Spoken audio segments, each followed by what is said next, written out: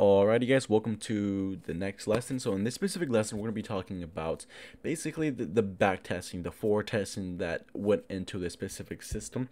Now, I have a lot of um, back tested results. So um, for the data sheets that I put out for you guys and I'm going to publish, um, should be in below this this little video, um, it's going to be worth um, the month of the, the specific month of data is going to be from April 23 uh, for for start date, and then um, it's gonna end around um, about what is it like uh, June, July, twelve.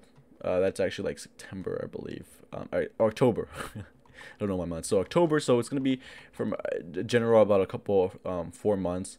Um, for this data set. So the data set for this one is going to be the instrument NASDAQ 100. So all the data points are coming from that specific instrument. Um, instrument, uh, you know, for um, April 23 to all the way up to October 8, 2020. So that's about April, May, June, July, August, September. That's about like six months worth of data. So um, going on with like this, this sets of data I took from uh, basically previous back testing results using um, kind of just an algorithm to find out um, at those specific dates if it fit my pattern. And then as well as using markups as well as I you know I, I did a lot of markups extremely a lot of markups for that point. So I, I took my data points as well from from markups. But anyway so um, instrument Nasdaq 100 you can see here you got the instrument the risk reward the risk the reward the entry date and the direction. So on um, the standard risk for this specific system so the mechanical level scalping system it's going to be at 0.30 um, percent so a little bit more than a quarter percent of risk. So you're going to see the risk is going to be um, very, um, it's going to be the same for, for this. So 0.30% for all of it, all right? And then you have the, the reward, which is 0.60%.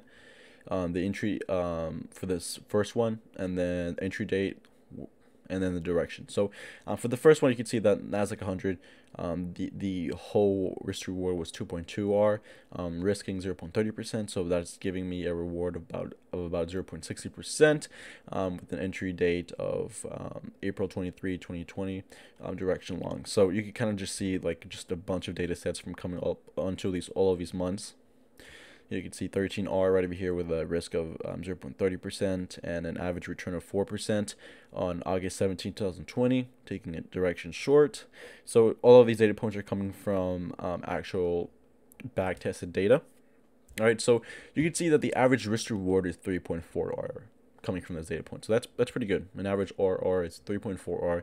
An average data percentage, so an average um, reward percentage um, or just average percentage is 1.04R, which is pretty good. So on average, on every specific trade, I average about making about 1.1% um, basically on each specific trade.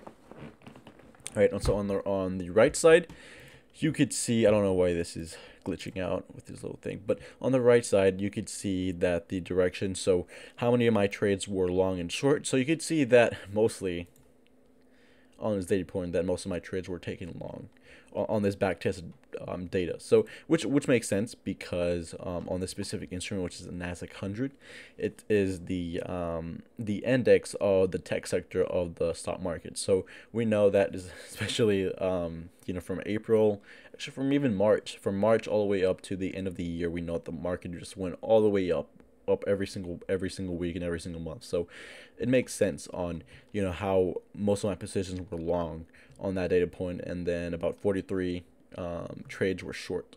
So the whole trades that um, of the data points for those six months was about 128 trades, which is very standard for a lot of systems. Um, 128 trades is I think I think the minimum for um, for most systems for for you to gather you know a cert like a lot of data points and to see exactly how um, especially over six months is exactly how the system works with different kind of months and different kind of market types if it goes through different market types during that time.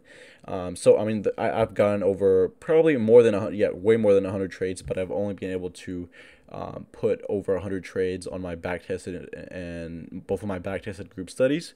Um, just because like there it's just so much i have so much entries and i have to put so much stuff. So i have it in, the, in, in my back end um, for my purposes. But um, you know, if people really want to see like the hundreds of data data points, I can go ahead and add it, but it's gonna take a lot of work. Um, to put all the data points and then chart, it out as well. Uh, but I do have it in my back end. Um, but for you know kind of um, systematic purposes, like the reason why I'm showing you guys this is you know to show you guys how the system works and you know um, why it's really important to have back tested results on a particular on your particular system and forward tested results and to exactly know what kind of the st- what statistics excuse me what kind of the what is it, what are the statistics of the system saying and how can you improve on it and what does it say about your system all right so right over here we have the risk of ruin so the risk of ruin is basically um, it's a percentage of drawdown telling you that you know what percentage would it take for you to meet a specific amount of risk of ruin. So either 100% risk of ruin, which is basically you blow your account, or 10% risk of ruin, which is basically 10% max drawdown, 20% max drawdown, 30%, etc. So on this, uh, it'll take 330 trades, 300 um, 330 straight losses, risking about 0.30% on each specific um, trade to meet full account ruin, which is that's a lot of trades. Not gonna lie, like it's gonna be very very hard for even like um, the person who wants to just basically like trade really aggressively to reach full account ruin. So it's gonna take 330 straight losses. If you do, then I don't know. Like maybe you're not even trading. Maybe you're just freaking gambling or just doing something retarded. But you should not meet 330 straight losses. That's like for me, like that's unquanti- unquantifiable. Like there's no way a trader can do that unless like he's just gambling and he goes into like a really I don't know, just a really bad kind of trade with using like martingale systems or something like that. So um yeah, it will take about 303 straight losses to meet full account ruin, and then there's going to be a less than a 0.097% chance that you will blow the account. So very small percentage, not even a, a percent. It's going to be like it's a zero basically a 0.09% so very slightly. Um, and then i calculated the risk of ruin basically on the specific formula if you guys are interested um, on um, how i calculated that. Just put that real quick. It's kind of bothering me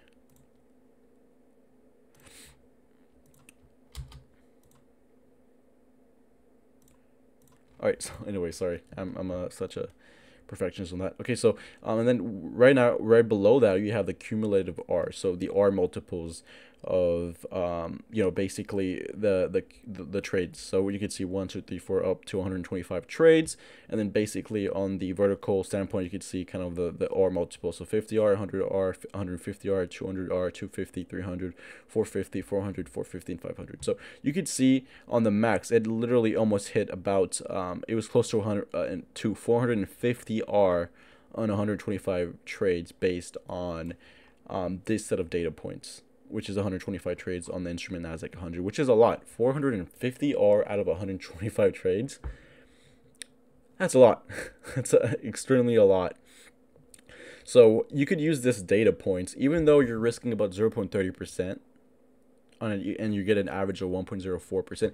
Based on this backtesting data, you could kind of use it. So if you're creating systems and you're risking about, you know, the minimum 0.30%, and then you can think to yourself, okay, so I think I can I think I can get away with risking about one percent per trade or a half a percent per trade and make about two percent or three percent on the average percentage, and then with a 450 R over 125 trades, like I can make a potential 500 500 500 percent or a thousand percent returns based on this particular system. Now, the reason why I have my risk at set at 0.30% is because of the negative skew, which I talked about in the previous um, lessons. It's because of the negative skew, and it's because that it fits my personality much better. Now, I trade a big account, so I don't really need to risk like a lot. Like I'm risking relatively $300 per trade, and so on average, I will make about you know 600 maybe 600 maybe even a thousand sometimes on really good risk reward trades. Um, so I, I can manage with that. Um, but for me I haven't really tried to go above that go above 0.30% risk because number one the negative skew part it'll only take one or two or three losses even though I trade a system which is it's a systematic approach into the markets and I have statistical edges and, and edges inside the system. I really just try to stick at 0.30%. But I ask every single one of you guys if you really are interested in, on trying to increase risk, even though like the, the system has strict rules on, on not doing that, then I would just say backtest it. All right, so backtest it a lot risking about 1% on each trade and seeing your results over a span of 50 I'll say 100 trades don't don't do 50 trades you need, you, you need to have 100 trades because that is the minimum for most most systems and, and strategies so just go over 100 trades and see what are your results for 100 trades and, and just basically map it out like I did uh, but for me I, I I like my risk being set at 0.30% it allows me to just basically not be too overly emotional. Like I said again, the system with risk as well is it's, it's best suited for me. Now, if I risk risking a thousand dollars, which is one percent of my account, there even more, sometimes even more, it tends to basically I tend to be a little bit more over emotional about it, and um, you know, whenever I'm emotional about a trade, I can you know even though I have that self awareness, I can still make mistakes and it can still put me into a point where I don't like being. And so that's why I accumulated this system, particularly personalized for my personality and, and my beliefs um, on the markets and, you know, how I operate on, on my trading. So that's why I have my risk set at 0.30%. It works really well. I, I love having it set at 0.30%. You could see that um, you know it has done an average of 1% per trade on per per trade frame so it, it for me, it's you know I'm not trying to hit big home runs, but if that's something you want to do and you want to um, kind of experiment with larger risk, um, again, I would just say backtest. You know, don't like I have part of the the system, the trading plan for this particular system, which you guys will see or should have seen. Um, that you should not increase risk because it's going to take away from the edges. You know, one of these statistical edges is the forward testing and back testing data. Um, so it's up to you guys. See exactly what um, fits your personality and see exactly you know just back test it extremely a lot and seeing what is you know what's useful for you. All right. So um, yeah, that's basically for the for this specific data point. Now, if we look at the combined version, um, put this a little bit closer. So we have a total 126 trades. Um, you can see the, um, I'm guessing this is the uh, max max um, percentage gains, which is 11.7%, and then the minimum, um, and then the win. So um, you have 108 wins and about 17 losses. So that's actually like based on this backtested data point, that's that's really good. So you have an 86% win rate with a 30% loss. That's extremely good. You have an average risk reward of 3.14 R um, and then you have a system quality number, which is one of what Van Tharp teaches. And I think every systematic trader should keep an account um, of having an SQ, SQN above 2.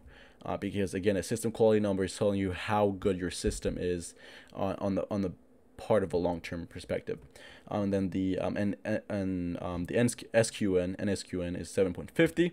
Um, you have the risk 0.30% per trade. Total percentage returns from 128 trades is 133.5% return. So based on this data point, on an average of 1.4% um, 1.04% per trade, you'll make a a um, out of 128 trades, you'll make about 1 100 133.5% returns, which is pretty good with having your risk being um, set at 0.30% though. So that's pretty good based on this specific um, data point, uh, data points.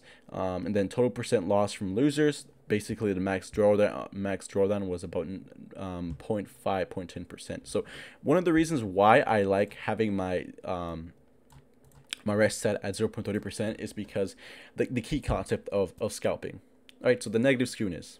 If you lose, if you win, you're gonna win a lot but win small. But if you lose, you're gonna you're gonna lose very rarely, but big, and potentially destroy all your gains, which potentially could put you in a in a psychological dark zone, and in turn, can make you even lose more money in the long run or in a short run. All right, so for this particular system, you can clearly see um, that the max drawdown is five percent, and the average win rate. I mean, the the the max um, percent gain, percent gain is 11.7%. So that's pretty good. That's giving me about more than a 2 to 1 ratio right there. Uh, so that's a really good um, ratio. Um, and basically, you know, the max drawdown that I that I've lost on that was negative 5%, and out of 128 trades, I profited about 133.5%, which is freaking phenomenal. And the profit factor percentage, based on the percentage of, of the data points, it's going to be 26.17, which is pretty good as well. Um, so you can see here on the right side, you can see the average percentage, uh, per average percent, percent, excuse me, I'm starting right up here. So the average percent per trade, so you got, you know, all the way up to 113. So you can see that it's just kind of ranging. It goes up to 2%, but, um, you know, break even, half a percent, a little bit of break even, break even, break even. Um, you know, one, a little bit. This was one percent, two percent right over here, and the highest that it ever went to was about twelve. Uh, actually, eleven, around eleven percent, almost twelve percent right over here. So the average tends to kind of stick at one percent, as you can see right over here, which is why the average percent percent um, is 1.14 1.14 percent, uh, which is actually, excuse me, it's actually 1.04 percent. I just did the math in my head. I don't know why it was 1.4 or 1.14. Oh, well, but anyway, so this is where, um, you know, how it looks like on a chart. All right.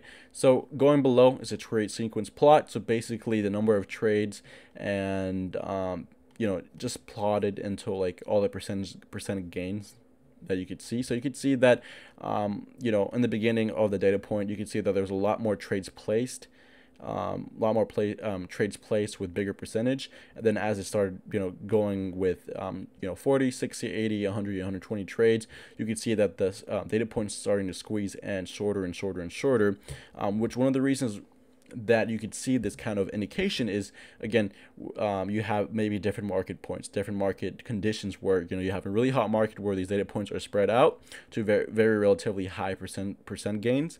And then whenever you have more um, trades um, you know one of the indications could be again you have uh, different market chains and you know your your plots are going to be much more smaller than they usually were and much more plotted at a specific average instead of it being all spread out which is pretty good. I mean uh, you know you would want you don't want your your trade plots to be literally like all over the place negative 1 negative 2 4 6 8 10 14 16 14 giving you kind of a random number. You relatively want to have an average on the trade sequence plot an average percent because then you can find consistency with that average and finding you know an average of that of that of that system. And then you know exactly you know what to expect. You know you're not looking i mean you're not you know everyone want, wants to hit a home run but you know you know exactly that if you don't hit a home run what is your average percent return per trade? And you know it relatively like the average is going to be 1% and if the trade sequence plot was literally all over the place you wouldn't have that specific average number in your head quite quite as uh, I would say um, quite strict. You know, you would have random data points all over the different percentage, and then it'll be much harder to find consistency at a certain percent, um, if that makes sense. Um, and going to the right side, cumulative um, percentage. So you can see here a number of 113 trades, out with 0%, slowly grinded all the way up. So this is a really healthy trend going all the way up to 120% of returns um, right over here, which is um, technically 133%. So right at that point. Um, and then trade sequence over cold market. So this is over less than about less than 100 trades. And then you can see here just example examples of a market change that affects RR and percentage, but not in a way where you're in net negative um, from about, what is it, uh, June, yeah, June 30th, 2020 to August 20, um, August 20, 2020. Um, so you can see these these data sequence plots where you know with this line the average is coming down. So that could be a reason why you know you have you know maybe a market time a, a point a month where you're having really spread out gains. And, a, and a, then a point where it starts squeezing in and you're having less um, percent gains, um, which again could be it, it's a good thing relatively on, on a long um, standpoint it's a good thing because you can have like a really good average to stick by but also again you want to hit home runs you want to have really good winners. So um, you know when you whenever you see this there can be different kind of indications or different kind of reasons why.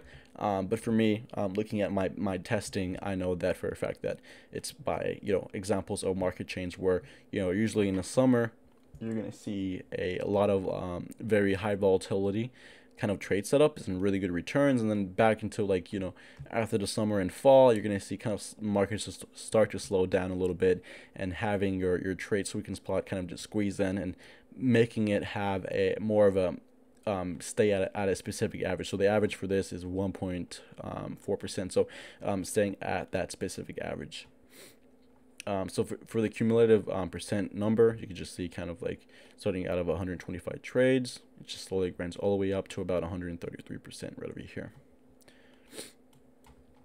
So in the, this is just the data point. So all the way down to 100 and to 125 trades right over here.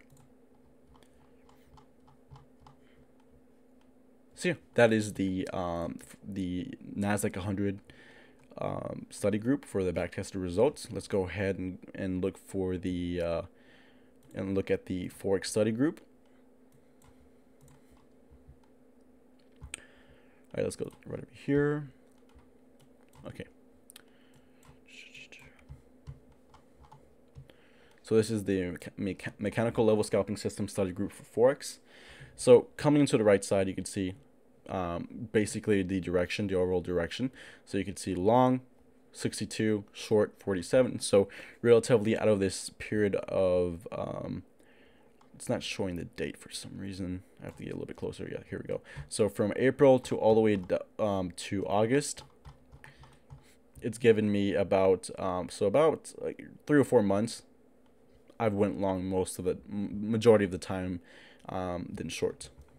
And then so going to the right side, you can see the cumulative um, percent return. So starting off with 1 and 0, all the way up to 100 and, uh, 109. You can see that it's in a strong, good, healthy trend. Not really unambiguous toward the upside where you're seeing insane out of short periods of trades, but over a span of 100 trades, I think that's relatively healthy right there.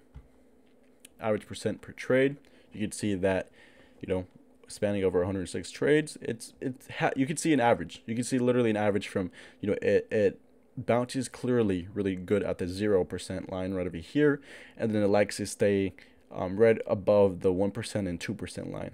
You can clearly see that average right there. And then on, on like these other later trades, you can see that it spiked all the way up to 7% and 6% um, average per trade. Going a little bit down to the right, excuse me.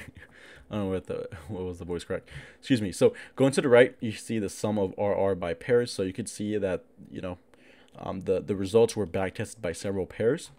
Um, so CHF, CHF, JPY, Euro AUD, Euro CAD, Euro GBP, Euro NZD, Euro USD, JP, JP AUD, JP CAD, JP CHF, JP JPY, JP NZD, um, JPUSD and J USD So you can see that the average R for CHF JPY was 5.1 R. The average R for Euro AUD was 2.67 R. The average R multiple for Euro CAD was 9.4 R. Euro JP not 8.5 R. Euro NZD 0 R. So no, literally 0 R no R at all. Euro USD 25.2 R, JP AUD 10.5 R, JP CAD 10.4 R, JP CHF negative 1, JP JPY insane amount 143 R, JP NZD 13 R, JP USD 72 R, and USD JPY 88.3 R. So coming out of those data points, you can see that which which particular um, instrument or which particular pair, excuse me, um, the system has been performing really well at those specific months. And you can clearly see that JPJPY um, was basically the winner for this for for this specific data points from all the way up to um, April to yeah April to um, to like mid summer. You can see that JP JPY gave us the most executed risk to reward or multiples. So that that's that's really good. So it's, it's always good to have kind of a, um, even though you, you really want to kind of like have a, a level playing field, it's still good to see kind of a, a pair that, that is doing much more better than any of those other pairs because it's giving you um, an indication where, okay, this system works really well for that specific pair. Could be different reasons why maybe volatility, maybe there was more news events, maybe there was more mechanical setups on that specific time frame, or, or etc. And so you could use that information to kind of create your own edge within the system. Even even though the system has its own edges, you could create your own personal edge and look at those look at that specific instrument and see okay what could I do better? Um, why is the system working so well on that specific pair? And kind of just reverse engineer and see what you could do um, and how can you improve on that. And the risk of ruin. So the risk of ruin based on a 0.30% risk, it'll take about 330 330 straight losses to meet full account ruin, which is, you know, same as the other one. And it's just basically the, the calculation, the formula right over here. So um, basically, what it determined is less than 1% to meet 100% account ruin. So the data results is 0.08%. So um, less slightly than, than the um, lesser than the uh, the Nasdaq 100 study group. So for this, it's 0.08 percent uh, percent um, percent chance of meeting 100 percent account ruin. So relatively really low, basically less than 100 percent. I mean less than one percent. Excuse me. Um, looking at the combined um, information.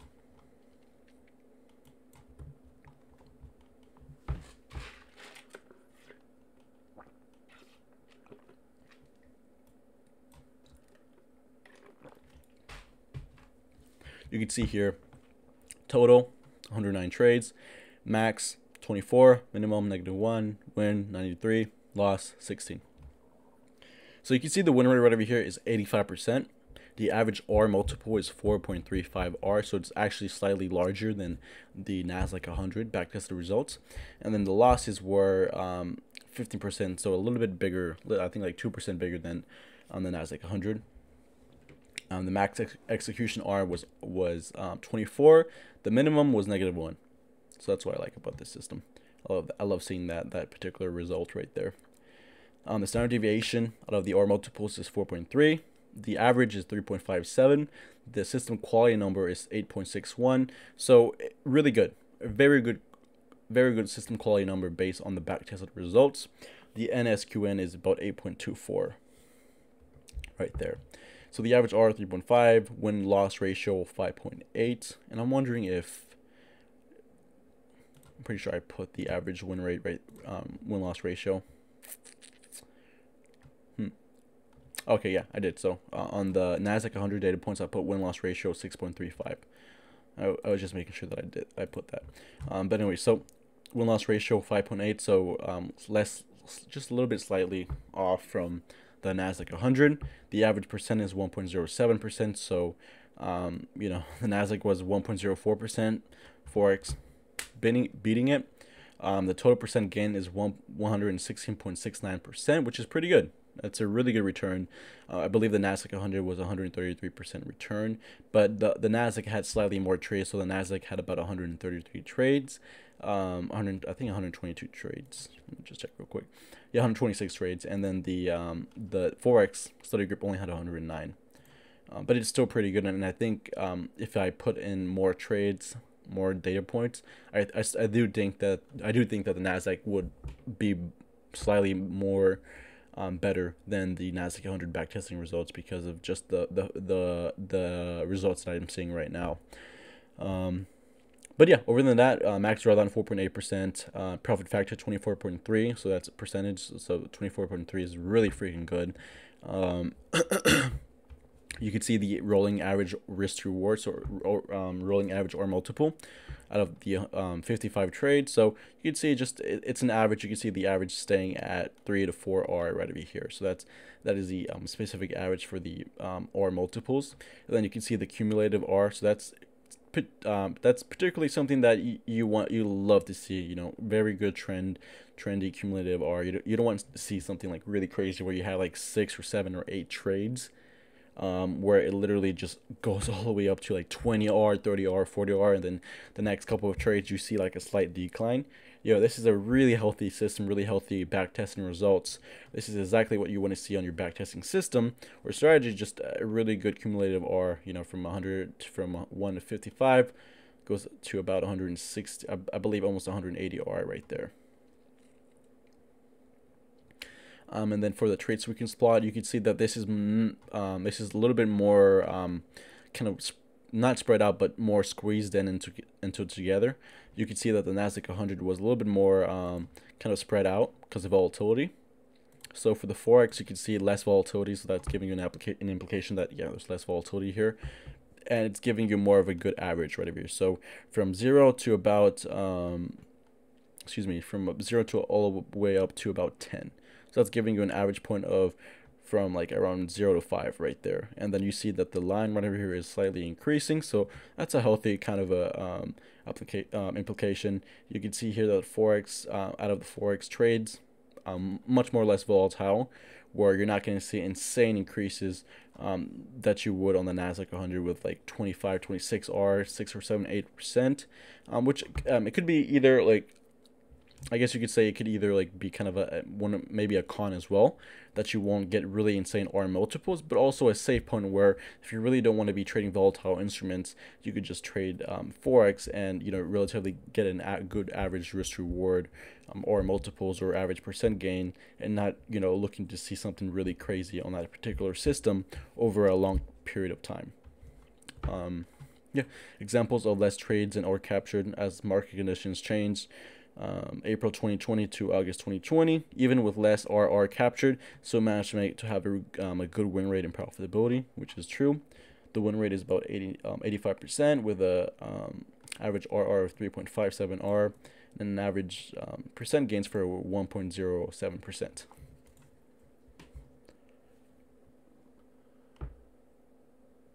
So you can see right over here all the all the data points right over here. So it's all the way up to 109.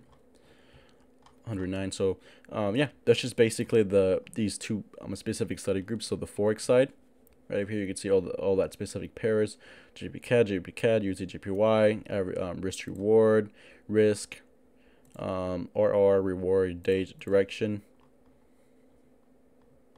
You can see the total percent gains right over here is 116.69%.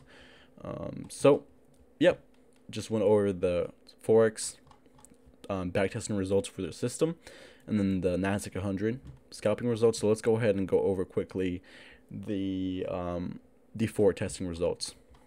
So this is the forward testing results, just a lot of data points because um, the forward testing was was um, basically more had way more trades than both the the back testing and back testing data points. So um, this one was a much more easier, much more easier to kind of just point out in data in data sheets because I could just export all my all my trades. And while like uh, with the back testing, you have to kind of um, basically manually manually do everything, so it's a bit more harder. Um, but anyway, so these are all the data points. You can see kind of the dates if I if I go a little bit closer.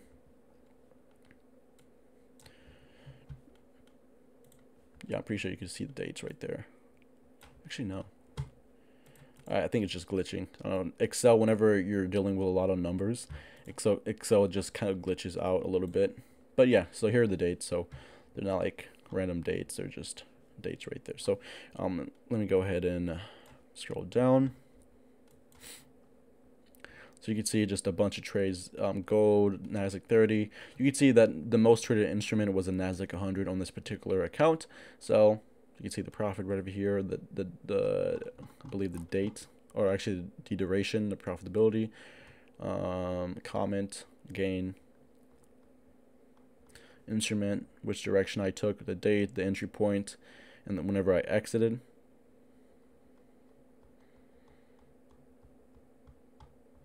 So this is over, I believe, 400 trades. So it very like a lot of basically a lot of a lot of um, lot of trades. So um, almost like three times more than the back tested results from the Forex side and as well as the Nasdaq 100 instrument.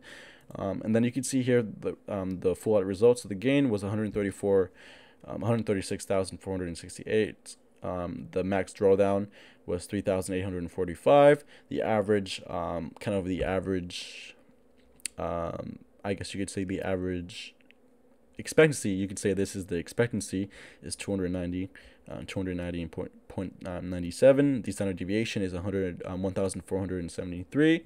And the profit factor of the system is 9.6. The system quality number is 4.2. So um, it's not as high as it was from the backtesting results. But, you know, this could be, you know, one of the reasons because um, you have way more trades. So more trades you take, more volatility, the more risk you are. Um, even though you're taking more winners, you're still um, just basically putting the system out with, with huge amounts of trades. So, um, you know, with the system quality number, it, it makes sense for the system quality number to be um, quite less than the backtested results, which was about 9 and 8 or 9 for the system quality number. But again it's still above 2 so that's really great. The wins 292 the losses 177 the win um, win loss ratio is 1.67 so it could definitely be better. I'm not gonna lie the win loss ratio could definitely be better. The win rate is 62.2 percent so um, you know definitely could be better from compared to the back testing data points from being 80 percent. And you know one of the reasons why the win rate is a little bit more um, way less about about 20 around actually i would say 18 percent less than the actual um, the the actual backtesting results is number one. Um, there's a reason why you have to backtest and forward test at the same time on that particular system. You can not expect back just to backtest and expect your forward testing results to be exactly your backtesting results because that's completely false. That's why systematicians, that's why portfolio managers both use backtesting and then once they have that system in place, they put it out into a, a testing algorithm or etc and seeing the results. So you can see the results are you can see that so you can see some similarities, but you can see also that the importance of why you need to forward test and not just basically go live. Um, so the win rate is still good. Not gonna lie, a 62.2% win rate is pretty good. Um, at loss rate of about 37.8%. Um, I still won more than I lost. I still have a really good system quality number. My profit factor is really good. Uh, my average um, expectancy could definitely be better. Um, and then the gain the overall gain is it's much more better than than before. So it's a, it's over 136,400, um, basically 136k right there. Um, the average profit chart, whatever you can see, um, it just kind of ranges from from the spe specific point. The average percent gain, you can see from the out of a 469 trades, you kind of see just uh, you know relatively kind of uptrend, kind of a trend right over here from 20 60%, 100%, 120% right over here.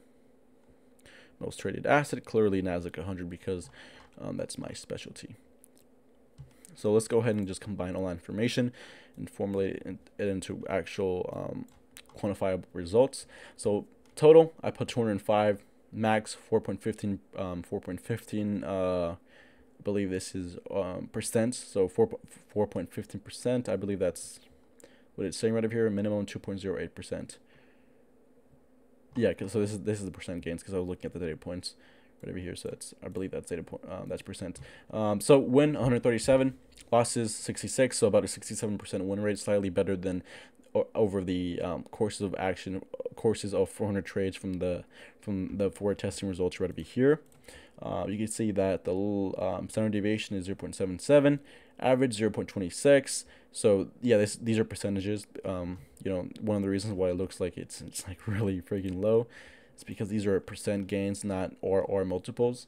So you can see you can know that you know that from the backtesting results, the or or multiples was about two to three R, um, and then for an average of about uh, one.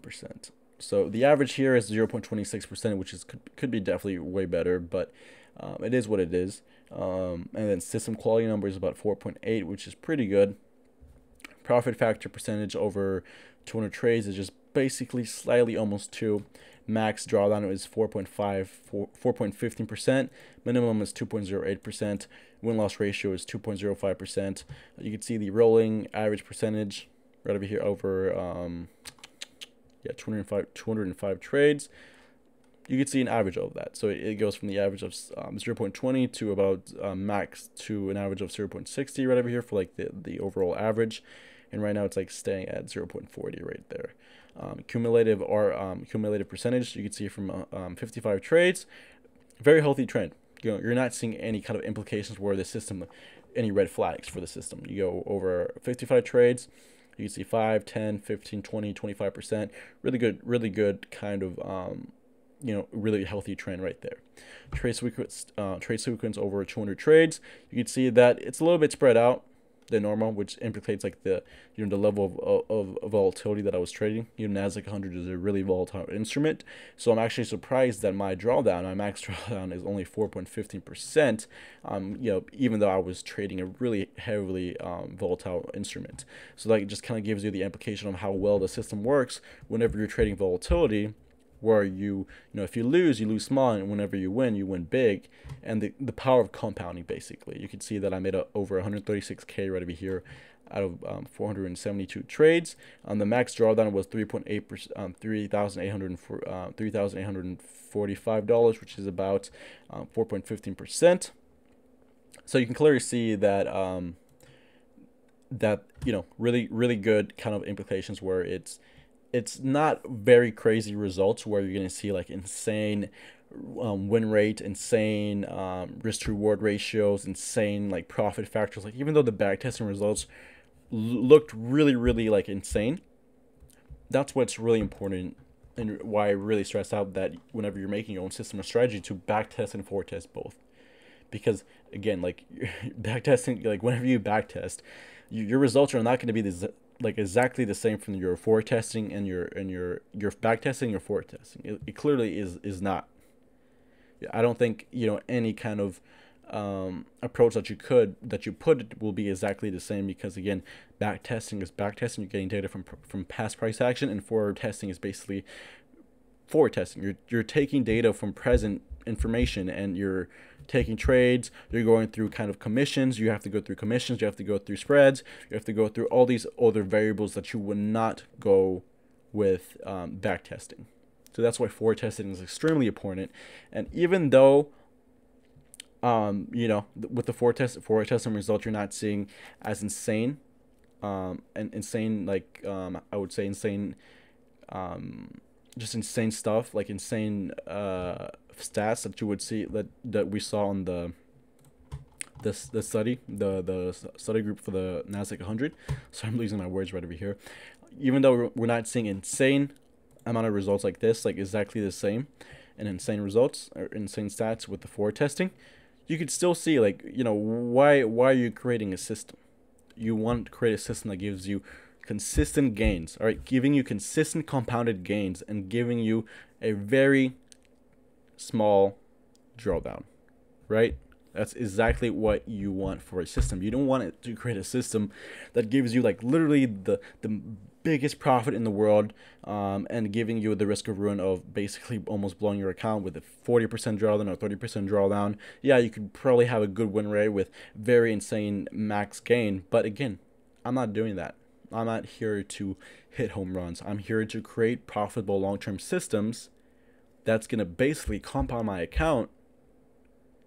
It's giving me literally the smallest amount of risk to make huge wins, to make a lot of money. And that's why the system works. That's why the system works really well. And with the specific risk factor, which is 0.30%, just look at that. Over 136,000 with, you know, the max drawdown of being 3,845. That's really good. Um, even though I had like a really, um, my, my win rate was not 80%, it wasn't 80%. I was winning about 62.2% on every trade. But whenever I was wrong, I was wrong really small. And whenever I was big, I was big really, you know, quite big. Much bigger than what I lost. Um, so yeah, these are all the, the specific data points. I know I'm rambling a lot. Um, but yeah, all, all the way down to 200 trades, you can see all the data points right over here. I'm going to link all the information below for you guys to just check it out. And kind of just hopefully you guys get more um, just kind of an insight on how systems are supposed to work, how you should kind of formulate your own your own strategies and systems, and how you should go about you know basically looking at this um, the statistics of it. So you're looking for the profit factor, the max percent gain, the minimum, the basically the drawdown percent, the win loss ratio. You're looking for basically the the standard deviation, the profit factor of the system. This is the system quality number.